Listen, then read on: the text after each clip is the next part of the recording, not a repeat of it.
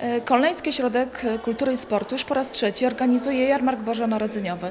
W tym roku zapraszamy wszystkich mieszkańców Kolna w niedzielę następną, 4 grudnia od godziny 10 tutaj do nas do ośrodka e, w celu po prostu zapoznania się z wystawcami, którzy przyjadą do nas z regionu. Będzie możliwość zakupienia ozdób choinkowych, stroików, e, spróbowania również świątecznych przetworów, więc serdecznie zapraszam, a oprócz tego, żeby umilić naszą atmosferę tutaj po- podczas jarmarku, będą kolendy w wykonaniu zespołu Kolneńskie Dziewczyny z Plusem.